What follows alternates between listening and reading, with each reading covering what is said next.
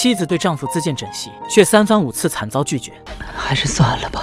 倒不是新婚小夫妻没有感情，只是这少爷虽模样性格都是一等一的好，但身体上的确有一些难以启齿的隐疾，这是只有夫妻之间知晓。所以每当长辈责难时，这口锅就扣在了少奶奶身上，当真是有苦难言。少爷和少奶奶相识在江南的烟雨天，一个是坐着黄包车的富户吴家少爷，一个是撑着油纸伞的不知名少女。两人在弄堂里擦肩而过，一个偶然对视，便是前世注定的缘分。爱就是来的这么猝不及防。不久后，少女嫁入吴家，成为了少奶奶，家中的产业正由父母打理，吴家少爷也可赋闲在家，每日教少奶奶跳西洋舞。小夫妻的欢声笑语从窗户里传来，尽是新婚燕尔的柔情蜜意。吴家有一方燕床，漆黑如墨，凉意透骨。每到夏天，少爷便会和少奶奶躺在燕床上。Shorts 时长有限，订阅我不迷路。评论区置顶链接观看完整版。